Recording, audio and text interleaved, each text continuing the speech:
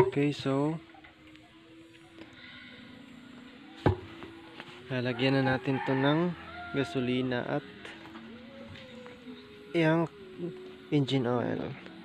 So, ang paglagay ng gasolina nito ay sa isang litrong gasolina ay dapat 50 ml dito 50 ml yung tuti. Tuti niya okay, so okay. so ihalo na natin to sa is itong tuti na to sa isang litrong gasolina na 50 ml